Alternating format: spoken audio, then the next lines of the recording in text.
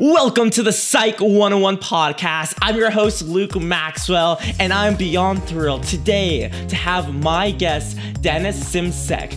Dennis also goes by the name of Anxiety Guy on his podcast and social media channels. He's a CBT and NLP master practitioner and has created lasting change in people suffering from anxiety disorders. His podcast has been downloaded over 1 million times. He's held the number one ranking in health category on iTunes for 12 weeks in 2017, and health blog has been named the top 10 best blogs for 2017 on Healthline and FeedSpot. What an introduction. Let's meet this man, Dennis. I'm so happy to have you on the show. Hey, Luke. Good to hear from you, man. Uh, that's that's some serious energy, man. I love it. I love it so much.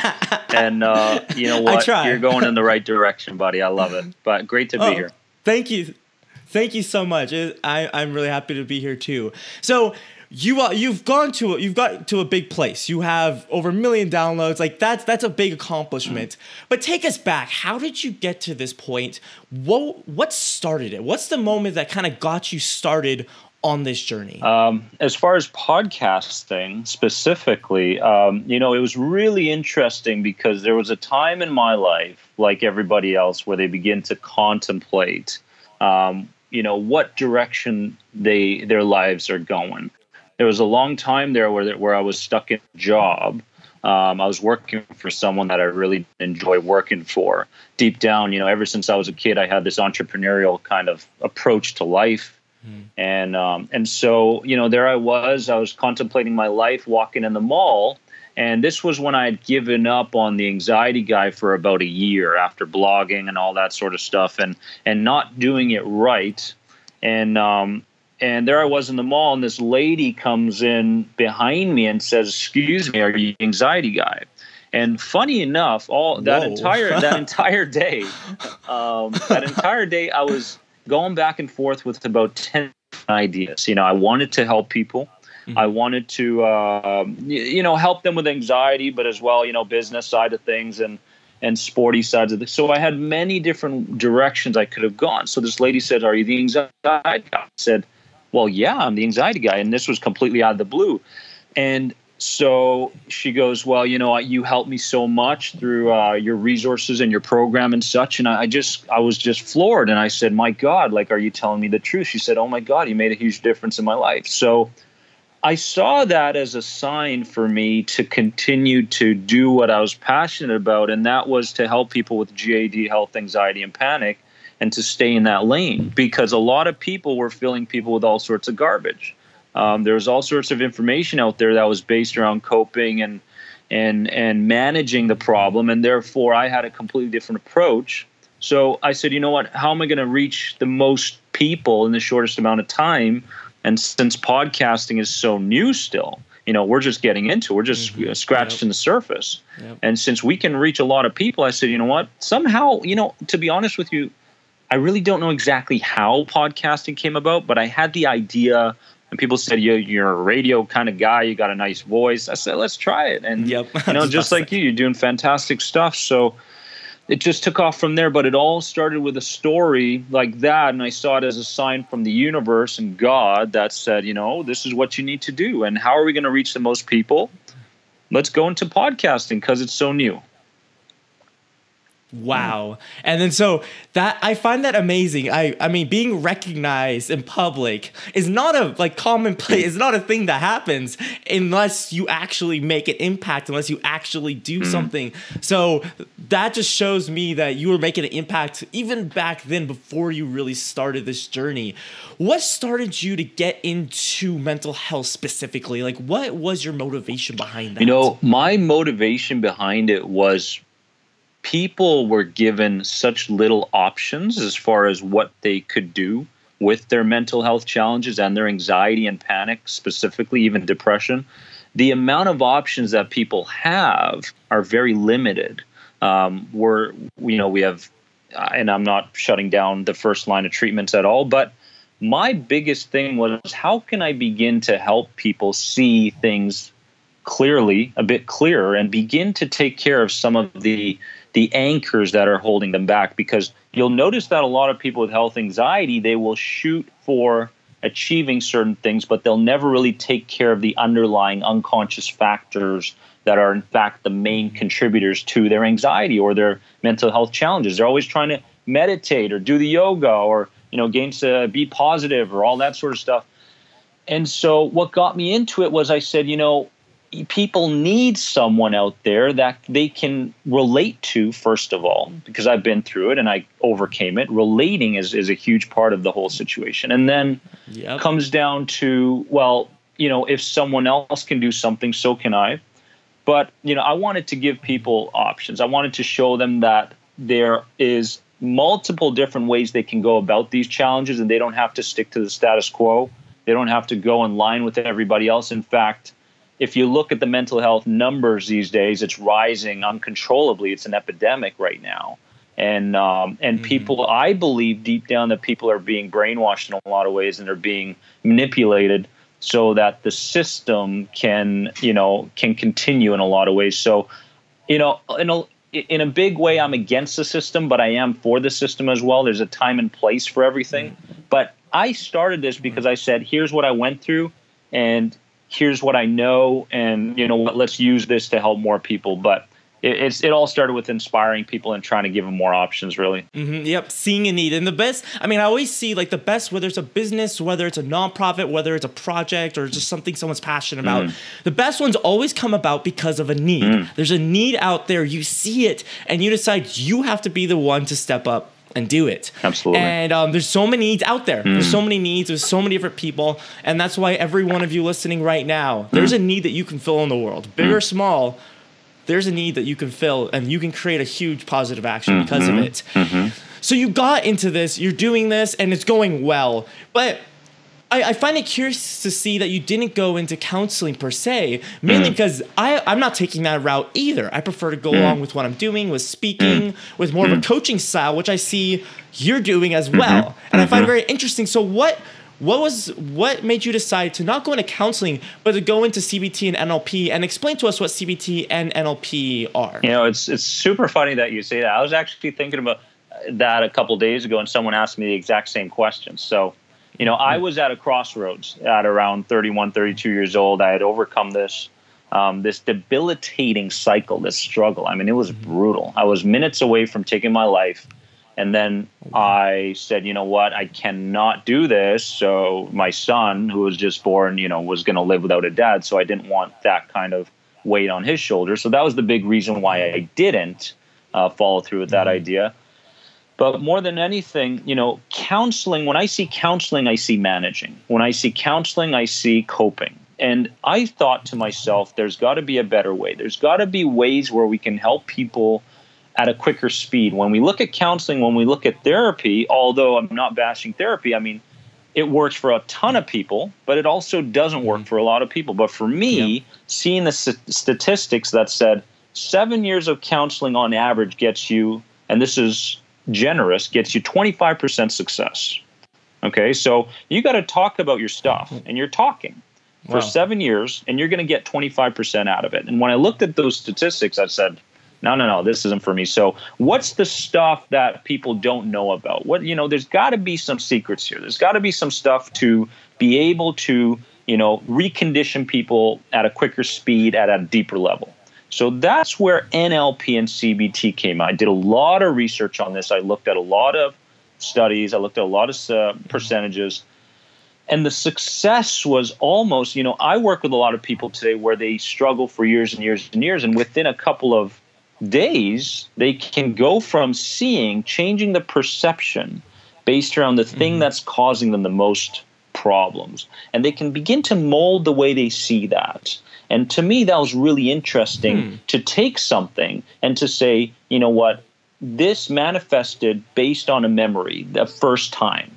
Someone who suffers from anxiety, a lot of times, you know, they have the first panic attack. What if I go back in time, which NLP teaches? Goes back in time and reframe the whole experience. What's a panic attack? Well, at the moment, I'm seeing it as a life threatening thing and I'm scared it's going to happen again. Or I can see that panic attack as a sign that my body and my system is in perfect working order. I could see that as a misinterpretation made by my mind that caused me to feel that way. All of a sudden, when I attach different meanings to what happened, I can move forward with my Hmm. life with less fear of it happening again.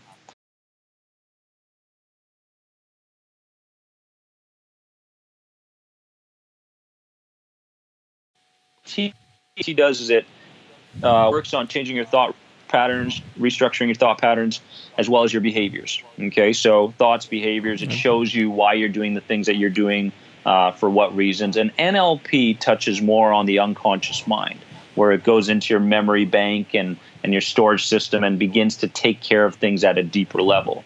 Um, but they're both Okay. beautiful problem solving methods people can use to eliminate anxiety, not cope, but eliminate it out of their lives, and to begin to change the perception over the things that are causing them trouble right now. Very interesting. I Mm. wow. I've I have actually not heard. I mean, I know I've heard of CBT. I've heard of NLP. Um, but I haven't done that much research into them. Now I'm definitely going to because I feel that I'm doing some of the stuff subconsciously just from what I've learned from interacting with people. And I'm really curious to see this. And also, I love that you were self-taught. A lot of people ask me, "Well, do you have a psychology degree? Mm, mm. Do you uh, do you go to school?" I'm like, "No, I mm. researched everything I could find, and then mm-hmm. I lived it. Mm-hmm. I lived it, and then I learned from people There's who have lived it. There's People, the power. yeah, exactly. Yeah. I mean, I'd rather do that, get real life experience, Yeah. than go to school and not be able to actually help somebody. Which I'm not saying that you can't if It's you a- go to school. Yeah. Um, but I know me and school do not mix, and I prefer to learn on the job. You know, in just have my hands in the dirt, um, doing it. You know what's interesting Wow. is that I believe. Uh, I'm sorry to cut you off, but I believe Mm-hmm. in five to ten years, you're going to find a huge shift in the way people approach trying to get rid of their their problems and their challenges. They're going to go Mm-hmm. from people that have not experienced the stuff that they experienced, and the people that are more book fed.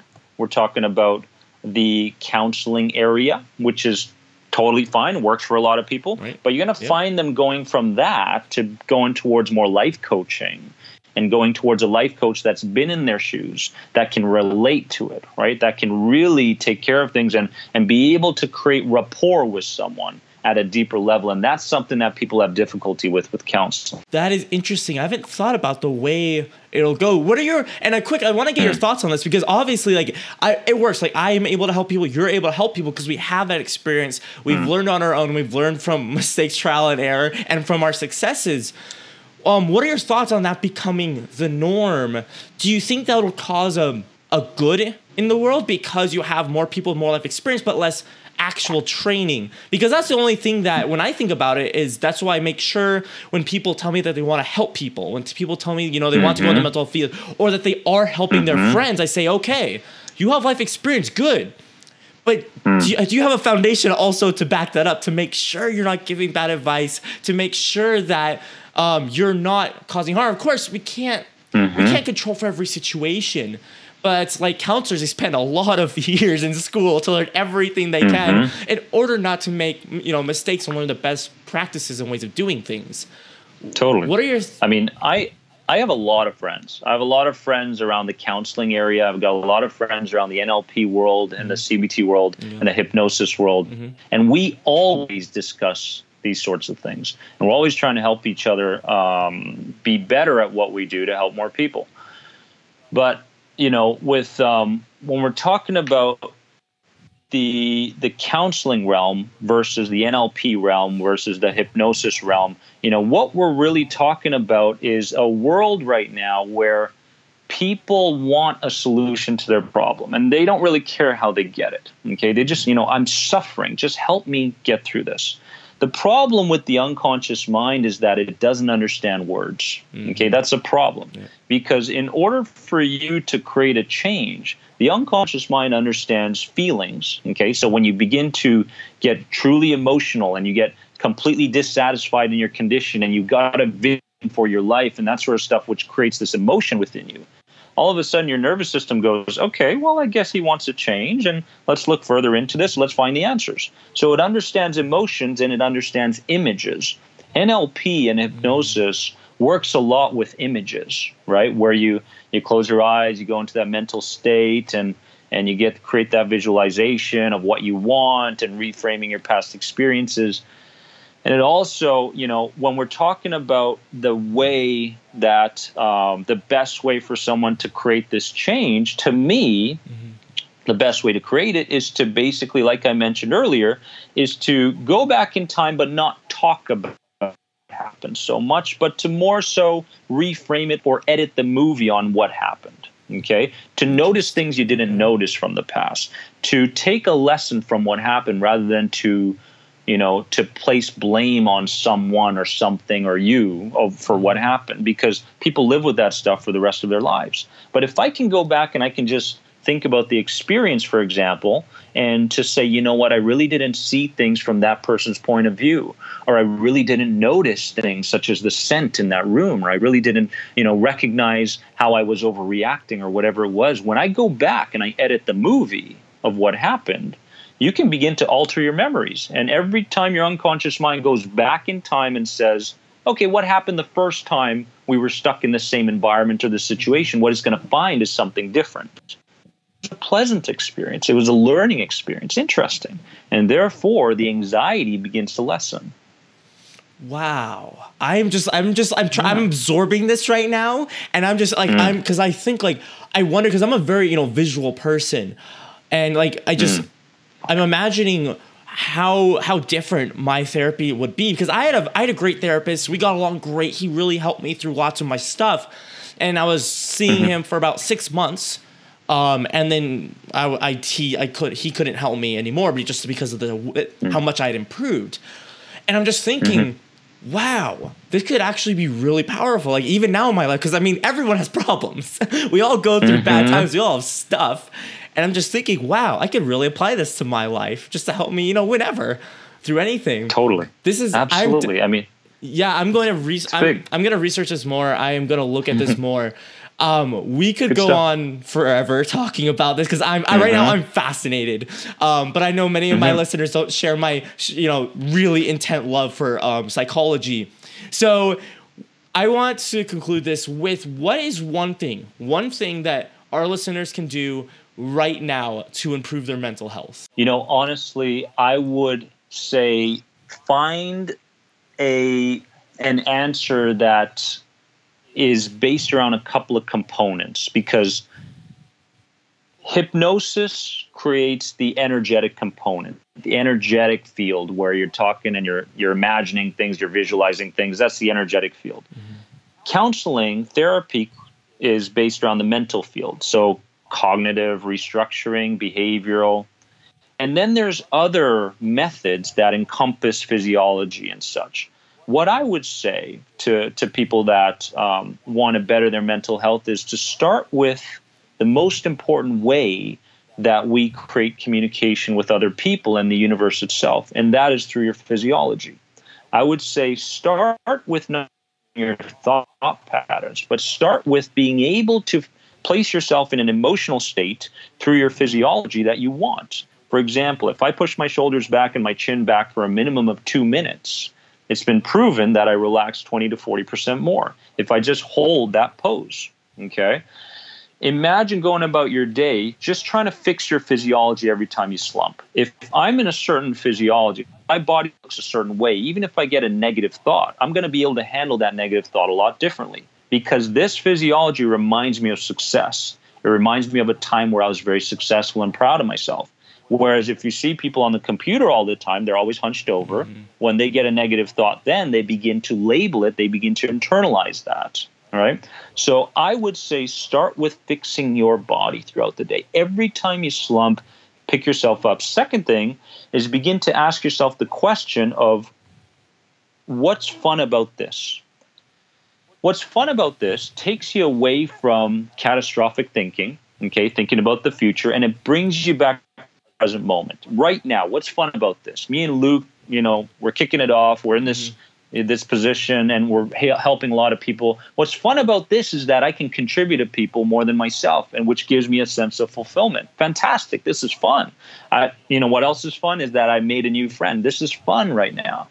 If I begin to mm-hmm. turn my focus onto what's fun about this right now and fix my physiology, what's going to happen is I can stay within the period of the next 10 minutes. You need to live your life 10 minutes at a time rather than thinking what's going to happen later on the day, catastrophic thinking in the week, going back and I used to be so good in the past, all that stuff.